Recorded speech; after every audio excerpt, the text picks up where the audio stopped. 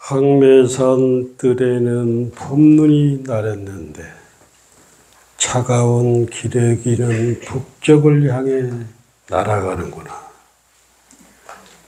무슨 일로 10년 동안을 헛되이 힘을 허비했는고 달빛 아래 섬진강이 흐르는구나. 이 개성은 인천 용화사 송담 스님의 오도성입니다. 송담 스님은 1945년에 강주 서중학교를 졸업하고 졸업하는 날 바로 출가해서 자우남 무등산 자우남에서 수계를 받고 그때가 1945년인데 1957년 무건 10년 만에 이런 아름다운 개성을 설파해서 전강로 스님의 법을 받았습니다. 우리가 이제 해방된 지도 1945년에 해방이 됐으니까 한 80년 이렇게 지났는데 한국 불교에서 어, 해방 이후 어, 가장 존경받는 스님을 예, 뽑으라면 세 분이 계시는데 다른 분도 계시지만은 성철 스님, 법정 스님, 청하 스님입니다. 예, 그분들이 가장 존경을 받았고 그분들은 다 지금 고인이 됐죠. 그 세 분의 공통점은 이 세 분의 공통점은 어, 계율이 청정했고 그리고 예, 그분들은 보살행을 예, 중생을 위해서 깨달음을 얻어서 보살행을 실천했습니다. 성철 스님이 해인사 방장에 왔는데 인연 있는 신심 있는 단월들이 생일날을 어떻게 알았는가 아, 미역국도 끓이고 어, 시루떡도 하고 해서 공양을 올렸는데 성철심 늦게 한 거야. 그래가지고 모래를 모래를 음식에다 뿌려버리고 그 보살들을 쫓아냈다 우리. 청아 스님은 생일날이 들어오면은 생일날이 오면은 하루 전에 나가가지고 여수 아빠들을 왔다 갔다 해서 이틀을 굶고 사셨고 법정 스님은 생일 일주일 전에 나가가지고 만행을 떠납니다. 옛 스님들은 옛 스님들은 자기에게 공양을 한다든가 자기 자신에게 시주를 하면 그것을 예, 칼을 칼을 막는 심정으로 받지 않았어요. 그렇기 때문에 그분들이 예, 존경을 받는 거예요. 옛날 해가 고이 뭐 팔숨 치는 것도 그 당시는 너무나 어려웠기 때문에 60, 70, 80 사는 게 너무 고마워서 있는 것 없는 것 정성을 다해서 예, 공양을 이렇게 올렸는데 수행자들에게 저는 성철 스님이라든가 법정 스님이라든가 청하 스님이라든가 이런 스님들을 오래 모시고 살아가지고 사상적으로도 사상적으로도 스님이 대접받고 법으로 대접받는 것은 괜찮지만은 아, 어렵고 힘든 신도들의 어떤 공양을 받는 것은 생일날 받지 않다. 돈이 있다면은 돈이 있다면 그것을 어렵게 공부하는 스님이라든가 아, 세상을 위해서 써야 한다. 이런 사상은 제가 그 10년 전에 보덕심 미역국 끓여서 얼마나 혼을 냈다고요. 예. 중은, 중은 다른 사람을 존경하는 것이지 공양을 받고 요즘 세속 스님들이 초상을 쳐도 스님 뭐 부모님들 초상 나도 일반 사람보다도 더 크게 월정사의 모 스님이 진주에서 그 부모님이 돌아가셔가지고 아, 초상을 치는데 꽃이 얼마나 들어왔는가. 그래서 그 지방 신문에 예, 비판을 받은 적도 있습니다. 스님들은 예, 신도들한테 법으로 존경받아야지 예, 그렇게 막 대접받는 것이 스파를 스파가 되면 그건 맞지 않는 거라. 육잠스님이 얼마 전에 여기 다녀갔는데 육잠스님께서 자기 좌우명을 말씀하시더라고. 토굴에 있을 때 자루, 자루에 쌀 석대, 가륵가에 뗄나무 한 단, 밤비 부슬부슬 내리는 초막에서 다리를 쭉 피고 한가롭게 사는 것이 그렇게 사는 것이 예, 수행자의 예, 삶이다 하면서 그렇게 살려고 노력한다. 우리가 유튜브를 보지만은 육삼심 무슨 뭐 강원 나오고 어떤 박사 있는 곳에 가는 것도 아니지만은 육잠스의 유튜브는 비록 시골에 묻혀 살아도 유튜브 조회수가 어떤 사람보다도 많고 또 본인이 여기 와서 이틀을 자보니까 자기는 한 달에 10만 원까지만 사는데 여기는 3천만 원 이상 될것 같다 해서 자기가 보시를 보시를 가져갈 수가 없다는 거예요. 여기 살림이 다 보이는데. 그래 누구든지 물질을 좋아하지 않는 사람은 아무도 없습니다. 그렇지만은 그 물질을 연습이 안 되고 업이 안 되고 나누기가 어렵습니다. 그래서 잘 나누는 사람을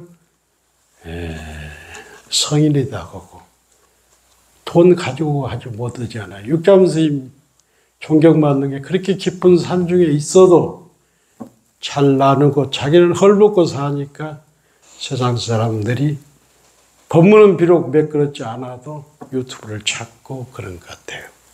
그래서 세상에 존경받는다는 것은 검빈하고 검소고 나누고 그리고 부처님 법을 잘 행동으로 실천했을 때 존경받는 것이지 물질이 학문이 고매하다고 해서 존경받는 것은 아닐 것 같아요.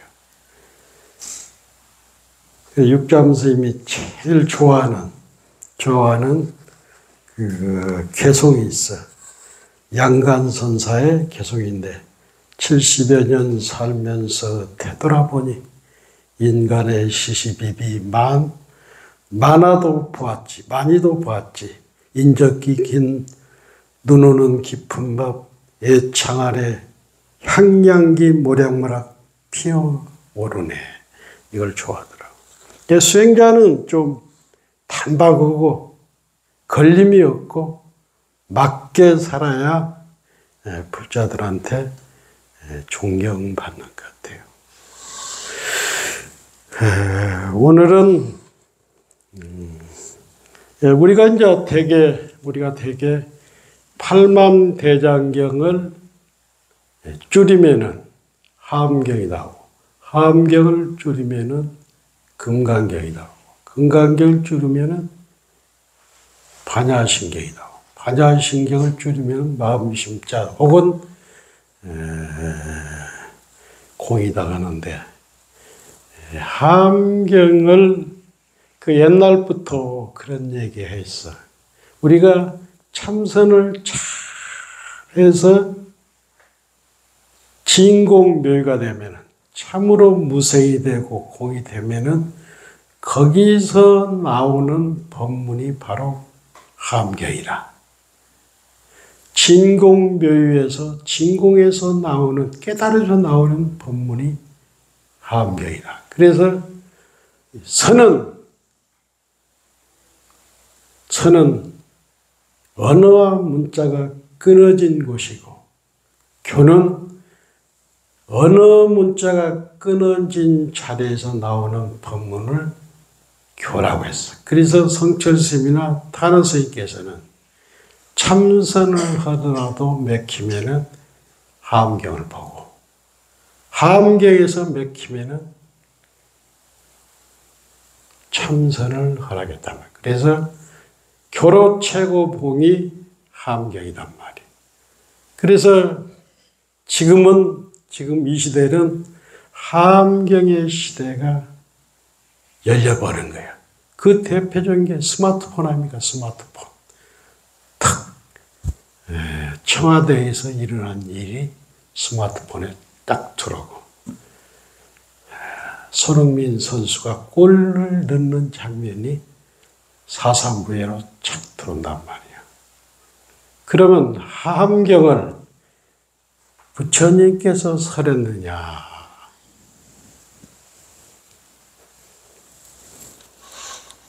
모든 경제는 모든 경제는 불설 아미타경, 불설 금강경, 불설 법화경 이렇게 하는데 함경은 설불경이라 설불경이 무슨 얘기냐면은 부처님에 대해서 부처님의 깨달음에 대해서 보살님들이 설했다. 그러니까 부처님께서는 한자도 한자도 감경을 설하지 않았다는 게 무엇이 설했냐?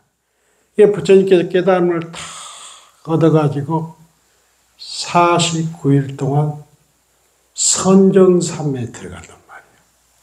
그런데 최초로 부처님께서 21일 동안 강명으로, 강명 변조로, 빛으로, 빛으로 설한 거예요. 그 빛으로 설한 것을 보현보살, 문수보살, 지장보살이 그것을 법주가 돼, 설주가 돼서 중생들에게 설했단 말이에요. 그러니까 하함경은, 하함경은 부처님께서 적강, 쉽게 말해서 삼매들에서 빛으로 설은 그 31일 동안, 21일 동안 설했는데 그것을 말로 설한 것이 아니라 빛으로 설했단 말이에요. 그것을 빛으로 설했는데 그것을 보살님들이 설주가 돼서 설했단 말이에요. 그래서 함경을 20일 동안 강명 변조로 설하는데 대중들이 알아듣지를 못하는 거예요. 너무나 깨달음 세계가 깨달음이 깊지 않아. 그래서 도저히 알아듣지 못하니까 그때 범천왕과 제석천왕이 부처님에게 부처님은 바로 선정해서 열반에 들라고 그랬어요. 열반에 들라고 했는데 범천왕과 제석천왕 여러 신들이 와서 다 못 알아듣지만은 중생을 위해서 법을 깊은 함경의 법을 낮춰서 법을 설해 주십시오. 이렇게 간청을 해. 그래서 이제 빛으로 설했는데 최초로 설한 것이 하함경. 그 다음에 아함경을 12년 설했고 8년 동안 방등경을 설했고 21년 동안 반야경, 금강경은 21년 동안 살았는데 50, 577, 577번째 그 다음에 법화 열반경을 설했단 말이에요. 법화 열반경. 그래서 이제 함경은 함경은 음, 제일 중요한 게 뭐냐면 함경은 돈호 돈수가 아니고 돈호 점수입니다. 그래서 함경의 그 수행을 수행을 우리가 이제 수행을 얘기할 때 크게 얘기할 때 신해행증 쉽게 말해서 부처님을 믿고 그 다음에 행하고 신해 이해하고 행하고 증명한다. 신의 행증이라고 그렇게 얘기한단 말이에요. 우리가 깨달음에 가는 데는 신의 행증이 분명히 있습니다. 있지만은 요것도 줄인 건데 우리가 함경은 함경 오일학에서 어, 함경은 이렇게 절차가 있어. 십신, 십 십주, 십행, 십해양, 등각, 묘각이 있단 말이에요. 근데 이 십신과 최고의 깨달은 묘각은 오이가 아니고 십주, 십행, 십해양, 십지, 등각이 오해이단 말이에요. 그래서 신심이 있다. 저분은 신심이 있다. 불심이 있다. 아주 부처님 같다. 이런 것은 절을 많이 하고 경전을 많이 했고 하심을 잘해서 신심이다. 신심이란 뭐냐? 내 안의 열애를 내 안에 있는 자성 진부를 100% 믿는 사람을 법당에 절을 안 해도 하심을 안 해도 내 안의 열애를 100% 100% 믿는 사람을 신심이다 하는 거예요.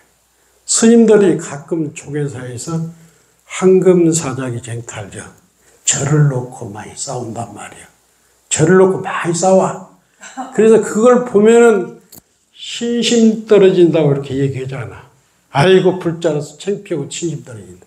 그것은 신심이 아니고 내가 부처라는 것을 100% 믿는 사람이 신심 있는 사람이에요. 이해가 됩니까? 네, 그래서 싸우더라도 중들 싸우더라도 그건 신심이 아니고 업이 붙어가지고 그런 낙을 무시해버리라고. 그러니까 설사 부처님을 믿는 사람이 없다 해도 부처님께서는 늘 강명변조로 법을 설하고 있는 거예요. 그래서 부처님께서 8만 대장경을 설했지만은 부처님이 돌아가신 지가 지금 2500년이 됐잖아요. 2500년이 됐는데 부처님 당시보다도 경전이 많이 늘어난단 말이에요. 그래서 이건 부처님의 부처님께서 설한 것이 아니라고 하면서 비불설이라고 이제 비판도 하는데 왜 그러냐면 내가 깨달음을 얻어서 선종에 탁 들어가 가지고 그 선종 속에서 한마디 한마디 하는 거 있잖아. 이것이 부처님의 깨달음과 부처님의 말씀과 다르지 않다는 거예요. 이게 조사스의 깨달음이, 육조스의 깨달음이, 성철스의 깨달음이 부처님 말씀과 다르지 않다는 거예요. 이것이 이제 어록으로 전해지잖아요. 그래서 경전이, 경전이 입장이라 해서 경전 안으로 들어가잖아요. 그러면 지금보다도 앞으로는 어록이나 경전이 늘어난다는 거예요. 늘어난다는 거예요. 그래서 이제 그래서 신심이 딱 있어버리면 신심이라는 것을 표현하는 것이 이제 경전에 두 가지가 있어. 약창계고 의상조사 법성계 있어. 초발심시 변정가. 쉽게 말해서 믿는 마음을 10만이 꽉 믿는 마음이 내가 부처랑을 100% 믿는 마음이 꽉 차버리면은 그것이 바른 깨달음이 된다는 거예요. 그래서 믿음이 가장 중요해요. 그 믿음이 꽉 차버리면은 묘각의 자리에 가는 거예요. 쉽게 말해서 불가, 깨달은 자리에 가버리는 거예요. 그래서 믿음이 제일 중요해요. 그래서 이것이 믿음이 10만, 10만 성불이 되버리잖아요. 믿는 마음이 꽉 찼을 때는 성불이 되잖아요.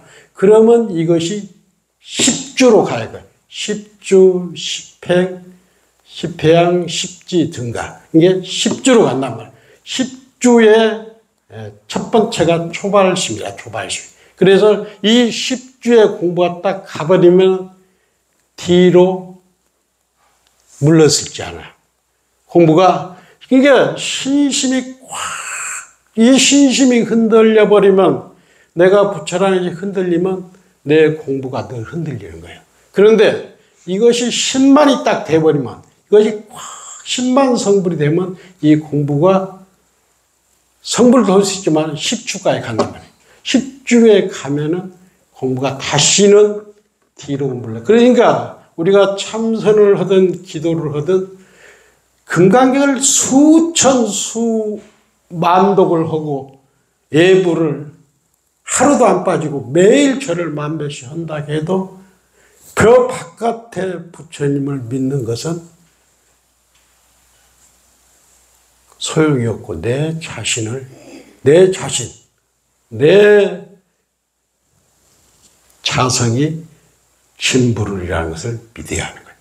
금강경을 만독을 해도 금강 금강경한테 내가 굴림을 당한단 말. 내가 자성이 100% 내가 부처님이다 하면은 금강경을 굴리하는데 결국은 우리 보살님들 서상 보면 수없이 금강경을 읽는데도 부처 3분의 1도 안 돼. 저 멀리 있어. 왜 그러냐면 금강경에 굴림을. 아, 열심히는 하는데 하는 행동 보면 중생처럼 한단 말이에요. 내가 부처라는 것. 부처라는 것은 100% 믿는 것이 굉장히 중요한 거예요.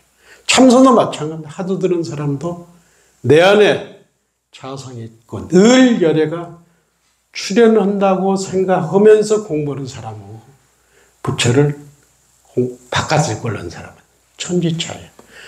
우리들의 자성에는 우리들의 자성에는 문수 보현이 문수 보현이 늘 출현하고 있는 거예요. 이 출현하고 믿고 사는 사람하고 긴가함께 하는 사람들은 처음에는 출발은 똑같이 하지만 세월이 지나면 엄청난 차이가 있다는 거예요. 그래서 믿음이 신이 공동모, 신이 장양 공동모, 믿음이 공덕을 기르는 어머니라는 거예요. 그래서 가장 중요한 것이 이 신심, 신심이 있어야 한다는 거예요. 부처님을, 부처님 바깥에 있는 것이 아니라 늘 내 안에서 열애가 출현하고 있는 거예요. 열애가 출현하고 있다.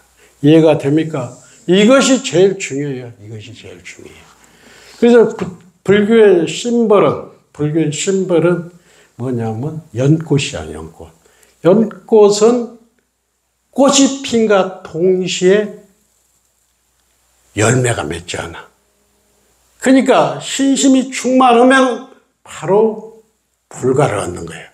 그래서 이 기실론에서는 처음은 우리가 처음에는 불각이지만은 결국에는 우리가 믿음이 있으면 시각이 되는 시각 안에는 불각 안에는 본각이라는 본래 깨달음이 있는 거예요. 그래서 시각, 본각, 불각이 떨어져 있는 것이 아니라 하나라는 거예요. 제일 중요한 게 신심이 제일 중요해요. 내가 부처라는 거. 내가 그 내가 부처님 부처인데 중생처럼 우리는 거꾸로 지금 연극을 하는 거꾸로 사는 거야. 내가 진짜 부처인데도 우리 삶은 연극으로 중생처럼 사는 거예요. 우리 굉장히 중요한 게요. 음. 그래서 이제 부처님은 에, 에, 함경에 에, 함경은 선정에 선정에서 살았기 때문에 함경의 주불은 법신 비로자나 버려. 그래 우리가 어디 가더라도 적강전이라고 써졌죠. 적강전. 삼매에서 빛을 발한다 해서 적강전이야. 근데 비로자나볼 부처님 한 분만 계시면은 적강전이라고 쓰는데 여러분이 계시면은 대적강전. 알겠습니까? 부처님 한 분만 계시는 데는 적강전이고 대웅전도 마찬가지예요. 대웅전도 석가모니 부처님을 주불로 해서 석가모니 한 분만 계시면은 대웅전이단 말이에요. 근데 여러 부처님이 계시면은 대적강전. 대적 조교사 같은데 해인사 같은데 대적강전이라고 그러잖아. 그거 알아야죠. 예, 그래서 그리고 이제 이 부처님께서 부처님께서 석가모니 부처님께서는 화신불로 왔잖아요. 그 석가모니 부처님께서 화신불로 오셨지만 이 석가모니 부처님이 하신불이 삼매에 딱 된단 말이에요. 삼매에 들면 하신불이 삼매에 딱 들면은 법신불과 하나가 된단 말이에요. 법신불과 하나가 딱 돼서 거기서 강명설법을 하셨다는 거예요. 그 여기도 여기도 이렇게 하신 분이 3, 40명 계시지만 우리가 진짜로 이 강명설법을 하면 선정에 딱 들어가지고 법신불과 하나가 딱 돼서 설법을 하는 거예요. 그래서 적강전이라고 하는 거예요. 적강전. 적강. 아, 그래서 이제 그 이게 부처님께서는 석가모니 부처님께서는 예, 한마디도 설하지 않았어. 그것을 대신해서 보살님들이 대신해서 법을 설했다.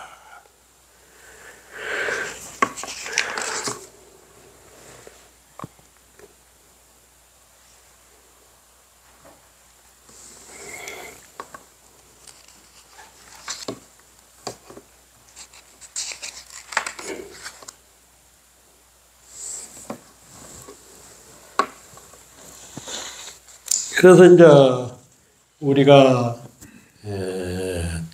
아까 전도 얘기했지만은 함경을 전체가 10조 9만 5천 48자고 함경이 80권, 60권, 40권이 있습니다.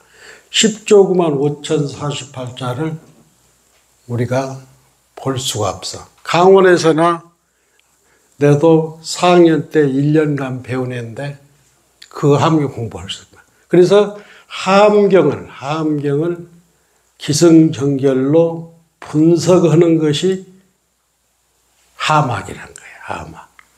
그래서 함경 전체는 볼수 없기 때문에 우리가 하막을 공부한다. 그래서 참선하는 사람들은 참선하는 사람들은 늘 참선하다 맥히면 함경을 보고 함경을 보다 맥히면 참선을 하고 그게 참선에서 선정에 딱 들어간 그 설법이 팔만대자인 거예요. 이게 선과 교는 선은 어느 문자가 끊어진 그 삼매에서 나오는 것이 선이고 그 끊어진 자리가 선이고 교는 어느 문자에 나온 법문이 교단 말이에요. 그러니까 우리가 이제 아까 참에도 법문할 때 불법선 삼부의 기여는 기여잖아요. 부처님, 거룩한 부처님께 기여합니다. 거천, 거룩한 가르침에 기여합니다. 거룩한 스님에 기여합니다. 이건 뭐냐면, 거룩한 부처님께, 부처님께서 어느 문자가 끊어진 그 자리에서 나오는 것이 어느 문자가 완전히 끊어진 자리에 나오는 게 부처님, 부처님이고, 거기에 나오는 법문이 부처님의 팔만 대장경이고, 또 그렇게 사는 사람이 뜻을 예, 승보다가는 거예요.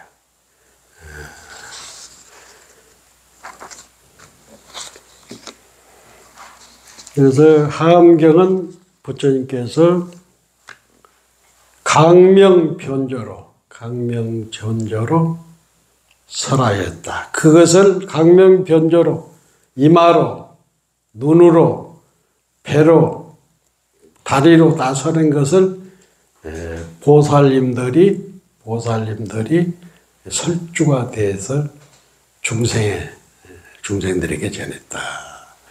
함경 전체는 볼 수가 없고 그렇게 해서 이제 함 학을 배우는 결제가 얼마 안 남았습니다. 그래, 이제, 예, 스님들 선방은 아주 에리트 스님들이 오셔가지고 지금 자리가 없고, 예, 보살님들도 우리가 이렇게 어, 천일, 이천일 기도해가지고 우리가 이렇게 선방을 지었단 말이에요. 근데 서울 시내 절들이 천 개가 돼도 이게 선방 운영하는 절이 없잖아요. 그래서 여러분들이 마음을 좀 내가지고 공사 선언이 선언이 선방을 운영을 하면은 여러 가지가 들어가. 그렇기 때문에 다른데 좀 덜 쓰고 거사님들도 꼭 방부를 들여가지고 봉사 선언이 잘 운영돼 에, 이렇게 되기를 여러분께서 신심을 모아주었으면 좋겠습니다. 그리고 이제 전강 스님께서 전강 스님께서 송담 스님을 음, 저기서 그 예를 들어서 깨달음을 얻으면은 깨달음을 얻으면은 그 전법계를 주어 전법계를. 그래서 이제 1961년도 전강 스님께서 예, 망월사에서 망월사에서 이제 송담 스님한테 예, 오도송을 딱 하지 않아. 그러면 그것을 살펴가지고 아 진짜로 깨달았는가 안 깨달았나 이게 점검을 해가지고 전법계를 준단 말이에요. 꼭 전법계가 있어야 해요. 전법계가 없으면 그 가짜 오도송이란 말이에요. 이렇게 그때 이제 춘성 스님도 계셨고 예, 해암 스님도 계셨고 막 저기 수덕사 해암 스님 계셨는데 어, 가을에 이렇게 예, 법도 아니요 법 아님도 없느니라 법 없는 게 무심이더라. 어느 날 가을빛이 많이 있어 강가 소나미는 흰구름이 날더라 하면서 예, 오도송을 이렇게 전법계를 줘가지고 1974년도에 송가 저기 저 정강스님이 돌아가셔. 그래가지고 복보선은 초실로 예, 들어가갖고 선언장으로 들어가고 지금까지. 예, 그나 그나저나 그 역할이 역할이 예, 이목구 화도 역할을 잘하고 계시고 또 이제 제2 용화사의 꿈을 안고 원력을 안고 신심을 안고 그러니까 어, 비록 선방에 못 들어더라도 보문사 신도들이 신심을 내서 방법을 꼭 들여줘야 합니다. 그래야 보문사가 아, 여러 사람이 모이고 또 특히 후원 보살님 것 같은 분들도 방법을 들여서 보문사는 가니까 사무장, 고향주 이런 사람들 공부하더라. 이런 게 내 집에서 이렇게 정법이 정법이 구현되고 많은 사람들한테 공부하는데 사는 사람이 공부하는 의미가 없잖아요. 절에 아무리 오래 살아도 에, 내 공부가 없으면 의미가 없잖아. 보살님도 이렇게 신심을 내고 오고 또 거사님들도 신심을 내서 보문사 선언이 한국 불교를 어, 이끌고 선의 대중화, 선의 세계화, 선의 생활화가 될 수 있는 그런 가나선의 메카로 여러분과 함께 이끌 것입니다. 감사합니다.